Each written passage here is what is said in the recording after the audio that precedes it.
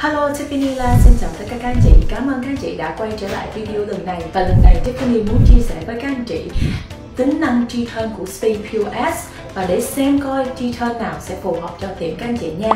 Thứ nhất là tri thân theo thời gian hoàn tất service. Có nghĩa là người thợ làm xong trước, ra trước thì sẽ được thân trước. Và Speed POS sẽ xoay chuyển thân liên tục.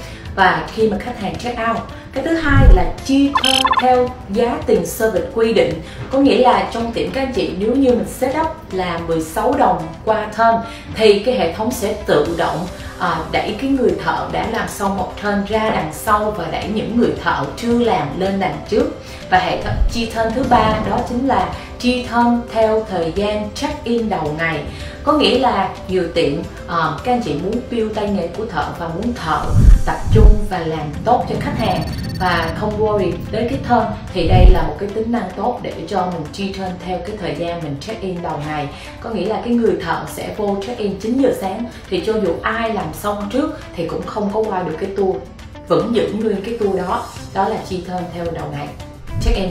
Và cái thứ tư đó là chi thân theo ý manager muốn. Có nghĩa là ví dụ uh, khách hẹn có khách hẹn vô thì không có tính thân và nửa thân cho waxing uh, hoặc là những cái dịch vụ waxing. Uh, mình có thể chuyển đổi và turn on cái turn manager để mình di chuyển thợ theo ý mình muốn. Và nếu các anh chị muốn biết thêm chi tiết về chi turn tính năng của Speed POS thì xin gọi vô số thu phi 1888 389 7240 và cảm ơn các anh chị đã theo dõi video ngày hôm nay và Tiffany sẽ hẹn gặp lại các anh chị. Bye bye.